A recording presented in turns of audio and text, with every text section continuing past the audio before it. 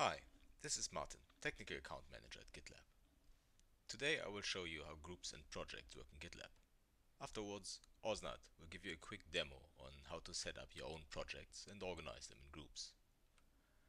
We will be looking at what groups and projects are in GitLab, what they are used for, how to manage users in these groups and projects, and the demo will show you how to set up groups and projects in GitLab yourself.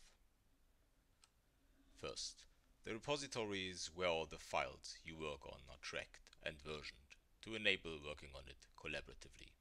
That is, the code, documentation, and configuration. Now the repository is only part of a project.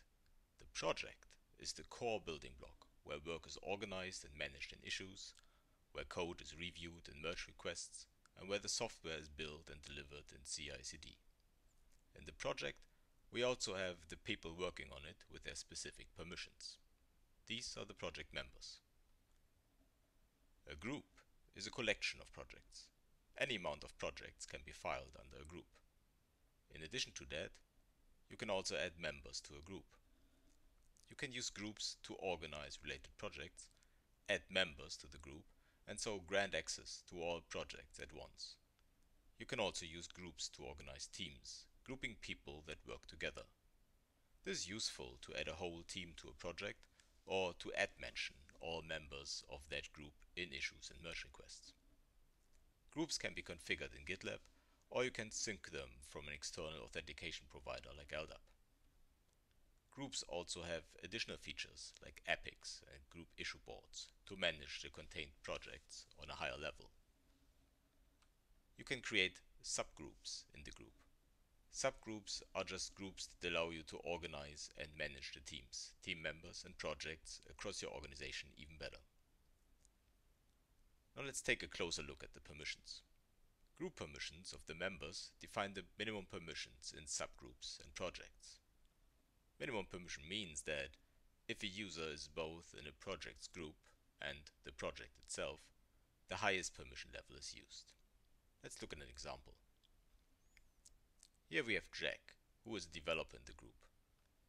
That means, at the minimum, he will have the developer role in all contained projects, subgroups, their projects, and so on automatically. Of course, permissions in groups and subgroups can be raised separately, and users from outside the group can be added to individual subgroups and projects as well. Above the groups, we have the GitLab instance itself. It can contain multiple groups. It can also contain the personal namespaces of the members, which, unlike groups, have neither direct members nor group features, just personal projects. And finally, all users registered in the GitLab instance can be seen and administered here. Now Osnat will show you how to set up your own projects and organize them in groups. Now that we've seen what groups are and why do we use them, let's see this in action in the GitLab UI. Here I have a group that I have created to hold my users. Sometimes it makes sense to have separate groups to manage projects or users. Such is the case, for example, when syncing LDAP user groups into GitLab. In my case, I have the All Users group with no direct members. Under it, I have two subgroups, each contains users. To view the group's members, click on the members in the group side menu.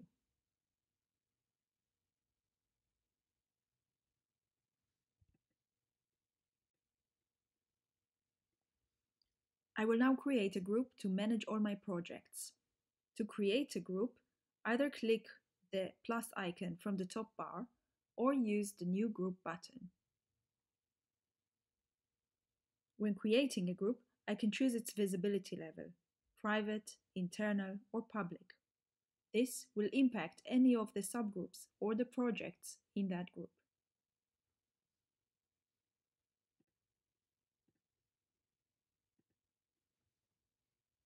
Now, I want to create my first project in the All Projects group. To create a project, either click the plus icon from the top bar or use the green button.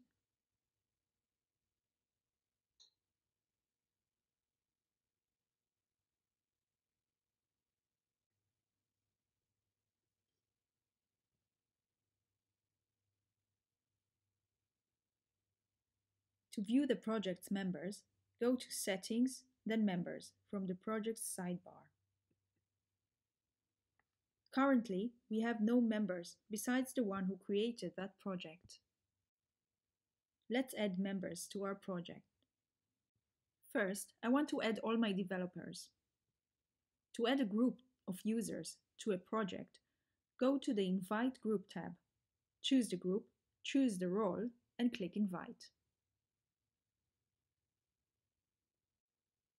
Now I want to add a single user.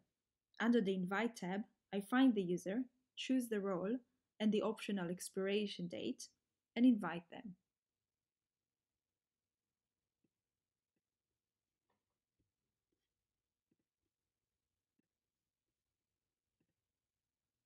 Now I can see my project's members.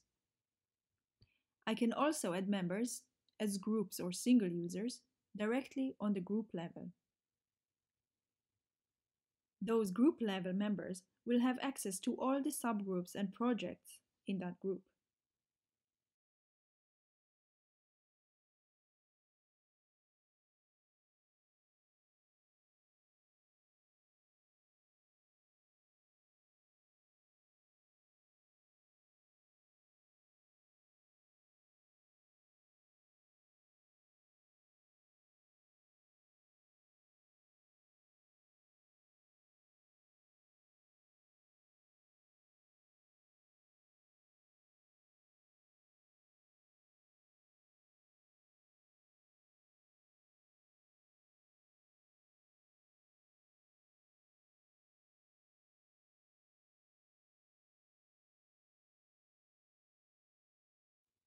When viewing my project's members, I can view all the members, only the direct members, or only the inherited ones.